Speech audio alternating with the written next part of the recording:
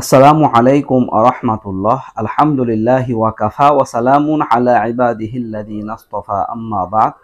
সুপ্রিয় দর্শক, শ্রোতা, ভাই ও বোনেরা, কাছের দূরে দেশ প্রবাসের যারা যেখান থেকে আজকের ভিডিওটি দেখতে আসছেন, সবাইকে অসংখ্য ধন্যবাদ। দর্শক তবার নামাজ কি? এই তবার নামাজ, কত রাকাত পড়তে হয় তবার নামাজ পড়ার পদ্ধতি কি? দর্শক, এই নামাজটা আপনারা সবে বরাতে রাত্রে পড়তে পারবেন কিনা এই সম্পর্কে আলোচনা করব। দর্শক, আমাদের প্রত্যেকের জানা প্রয়োজন আছে। আমরা অনেকে তবার নামাজ পড়তে চাই, সঠিক পদ্ধতিটা জানি না, কোন সুরা দিয়ে পড়তে হয়, কোন সুরা দিয়ে পড়তে ভালো এটা আপনাদের সাথে বলে দিব। ধৈর্য সহকারে আমার সাথেই থাকবেন। শেষ পর্যন্ত ভিডিওটি দেখবেন।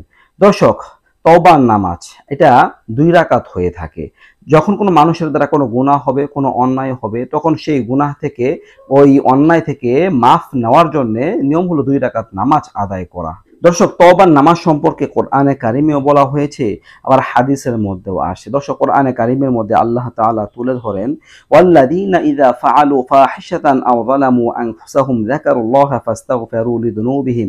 আর যখন কোনো মানুষের দ্বারা কোনো গুনাহের কাজ হয়ে যাবে, অথবা কোনো মানুষ যখন কোনো জুলুম করে ফেলবে, নিজের প্রতি অন্যায় অপরাধ করার দ্বারা, তখন তারা যেন আল্লাহ তাআলাকে স্মরণ করে এবং নিজেদের গুনাহের জন্য ক্ষমা প্রার্থনা করে। এর দ্বারা তবার নামাজ বোঝানো হয়েছে। দর্শক রাসূল সাল্লাল্লাহু আলাইহি ওয়াসাল্লাম বলেন, মা মিন রাজুলিন ইউযনিবু যামবা সুম্মা ইয়াকুমু ফায়াতাতাহহারু সুম্মা ইউসাল্লি সুম্মা ইয়াস্তাগফিরুল্লাহ ইল্লা গফারাল্লাহু লাহু সুম্মা ক্বারাআ ওয়াল্লাযীনা ইযা ফাআলু ফাহিশাতান আও যালামু আনফুসাহুম যাকারুল্লাহ ফাস্তাগফিরু লিযুনুবিহিম রাসূলুল্লাহ সাল্লাল্লাহু আলাইহি ওয়াসাল্লাম বলেছেন, যখনই কোনো লোকের দ্বারা কোনো গুনাহ হবে, তখন সে দাঁড়িয়ে যায়। পবিত্রতা অর্জন করে অতবর নামাজ পড়ে আল্লাহ তাআলার কাছে ক্ষমা প্রার্থনা করে, তাহলে আল্লাহ তাআলা তাকে ক্ষমা করে দেন। তো আল্লাহ রসুল সাল্লাল্লাহু আলাইহি ওয়াসাল্লাম এই কথাগুলো বলার পরে কোরআনে কারিমের এই আয়াতটা তুলে ধরেন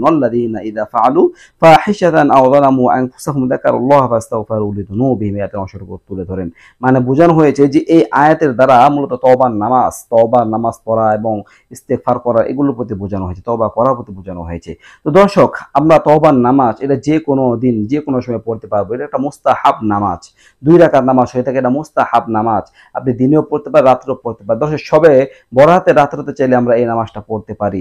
সবে বরাতে, রাত্রে আমরা অনেকেই চিন্তা করেছি, আমরা রাত্র জেগে জেগে ইবাদত বন্দি করব। তখন আপনি তবার নামাজটা পড়ে নেবেন। আগে দুই রাকাত তবার নামাজ পড়ে নেবেন। আল্লাহ তাআলার কাছ থেকে আপনার গুনাহ অপরাধ যা কিছু আছে তার মাফ খালাস নিয়ে নেবেন। দর্শক তবা করার পদ্ধতি হচ্ছে যখনই কোনো অন্যায় কাজ হয়ে যাবে, কোনো অপরাধ হয়ে যাবে, সাথে সাথে তবার জন্য নেমে পড়া। সাথে সাথেই সাথে সাথেই তবার জন্য নেমে পড়া। এরকম না যে করবনি পরে তবা করবনি এই দুই দিন পরে করবনি তিন দিন পরে করবনি এখন তবা করার সময় নেই। মা, এমনটা করা যাবে না। যখনই কোনো অন্যায় অপরাধ হয়ে যাবে, তখনই কাজ হলো যে ওই ব্যক্তিটা পেরেশান হয়ে যাবে তবা করার জন্য।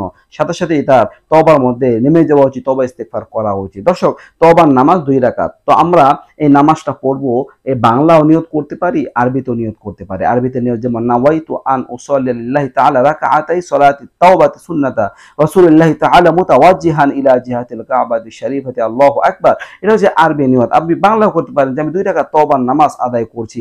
তো এরপরে আপনি স্বাভাবিক দুই নফল নামাজ যেভাবে পড়েন, ওইভাবেই পড়বেন। দুই নফল নামাজ যেভাবে পড়েন। তো প্রথম রাকাতে সূরা পর সূরা কাফিরুন পাঠ করা আর দ্বিতীয় রাকাতে সূরা ফাতিহার সাথে সূরা ইখলাস মিলানো, এটা উত্তম, এমনটা পাওয়া গেছে। তো আপনি যে কোনো সূরা দিয়ে পড়তে পারেন, তবে এই দুইটা সূরা মিলানো উত্তম। তো আপনি দুই রাকাত নামাজ পড়া যখন শেষ করবেন, তো এরপরে আপনি আল্লাহ তাআলার কাছে মোনাজাত করবেন, ইস্তেগফার করবেন। আল্লাহ তাআলার কাছে ক্ষমা প্রার্থনা করবেন। বাস, এভাবেই তওবাটা হয়ে গেল। তো দর্শক, আপনি আপনার যত অপরাধ আছে, যত অন্যায় আছে, বা আপনি যদি কোনো অপরাধ অন্যায় করার পরে তওবা করেন, এই, এইভাবে তওবার নামাজ পড়ে যদি দোয়া করেন, তাহলে তিনটা জিনিস আপনার মনের মধ্যে থাকতে হবে। এক নাম্বার হচ্ছে যে, আপনি যে অন্যায়, অপরাধের কারণে তওবা করছেন, ওই অন্যায়, অপরাধ আর কখনো করা যাবে না। পুরোপুরিভাবে বর্জন করতে হবে।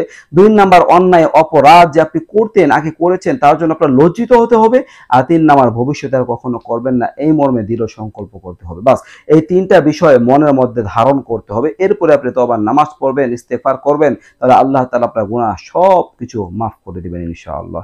দর্শক, মনের বিষয়টা অনেক গুরুত্বপূর্ণ, ইন্নামাল আমাল বিন নিয়াত নিয়তের উপর মানুষের আমলগুলো নির্ভরশীল হয়ে থাকে। তো আপনি মনের মধ্যে এই তিনটা শর্ত মেনে নেবেন।